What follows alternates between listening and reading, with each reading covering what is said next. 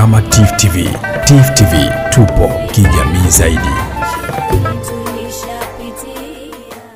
Mchakato wa kuandika dira ni mchakato wa nchi, ni mchakato wa wananchi. Kwa hivyo maelekezo yangu ni kwamba wahakikishe wanashirikisha jamii kwa upana wake, na nimeeleza makundi matatu muhimu.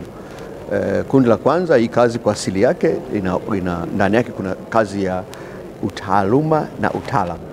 Kwa hivyo lazima washirikishe makundi ya wanataaluma na wataalam mbalimbali ndani ya nchi yetu. Lakini la pili ni, ni swala la makundi ya kijamii ambao ni wananchi wenyewe, ikiwemo kwa mfano eh, taasisi za kiraia, NGOs, taasisi za dini, makundi ya wakulima, makundi ya wafugaji na kadhalika. Wafanyakazi wote hawa washirikishe. Na kundi la tatu ni kundi la wanasiasa. Kwa mchakato wa kuandika dira pia ni mchakato wa kisiasa, kwa hivyo lazima watunga sera eh, ambao kwa kweli ni wanasiasa, wanasiasa ndani na nje ya chama tawala, ndani na nje ya bunge eh, lazima wawashirikishe. Kwa hivyo huo ndio msisitizo wangu, lakini muhimu ni kwamba mchakato huu ni mchakato wa kuandika dira ya maendeleo ya taifa.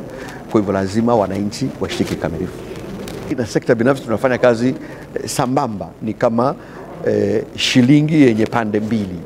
Eh, sekta binafsi ndio ambayo inaingia katika uzalishaji eh, sekta binafsi ndio ambayo inahusika na kuuza, sekta binafsi ndio inayofanya biashara. Kwa hivyo sekta binafsi ni sehemu muhimu sana, wakati serikali kazi yake ni kufanya uwezeshaji wa kimiundombinu, uwezeshaji wa kielimu, kwamba watoto wawe na taaluma na elimu stahiki, uwezeshaji wa kiafya, wananchi wawe na afya. Sekta binafsi ina jukumu kubwa la kushiriki moja kwa moja katika mchakato wa uzalishaji mali.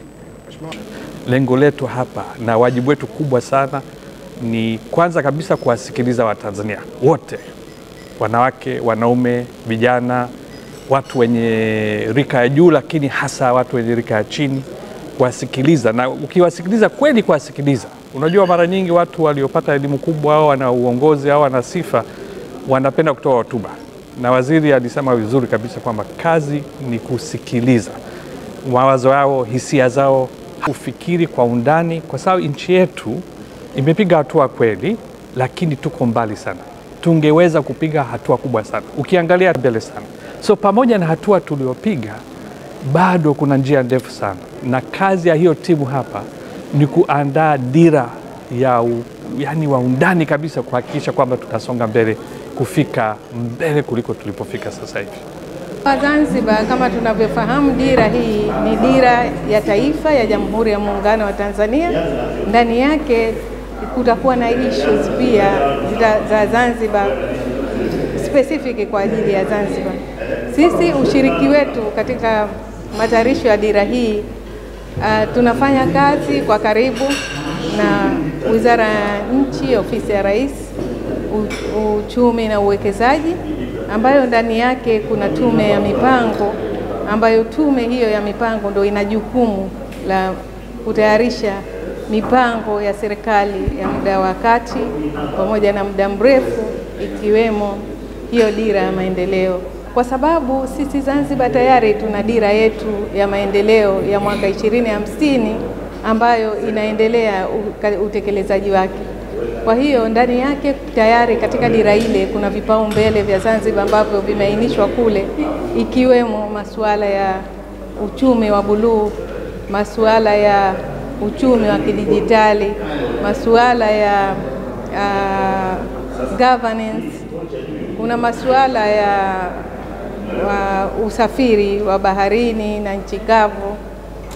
Kwa hiyo mambo mengi yaliyokuwepo ndani ya dira ya maendeleo ya ya Zanzibar yatakuwa ni sehemu pia ya dira ya maendeleo ya Tanzania. Uh, warsha hii tutawapa nyenzo ambazo zitatumika katika kufanya um, uh, maandalizi ya dira. Uh, kuna taarifa au ripoti ya utekelezaji wa dira ya 2025 ambayo inaendelea sasa. Hii ni nyenzo muhimu kwao kwa sababu itawasaidia kuhakikisha kwamba uh, nchi haianzi upya isipokuwa inaendelea. Kwa hivyo kuna mambo ambayo watajifunza kutoka kwenye dira hii tunayotekeleza sasa na ambayo yanawezekana kabisa yakahitajika eh, kuendelea kutekelezwa katika dira mpya, lakini pia kuna historia e, waweze kuona makosa tuliyofanya huko nyuma tusiyarudie tena, lakini pia mbinu na nyenzo zitakazotumika katika kukusanya maoni ya Watanzania. Kwa hivyo kwa kifupi kabisa uh, warsha hii ya siku tatu hapa Zanzibar ni kuwezesha hii timu ya wataalamu ya uandishi wa dira e, kuweza sasa kuanza rasmi kazi yao kwa kutambuana wao wenyewe, lakini pia kwa kuwapa e, kwa undani zaidi eh, matarajio ya, ya umma kuhusu jukumu lao.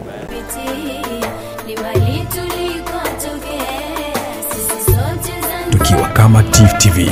TIFF TV tupo kijamii zaidi.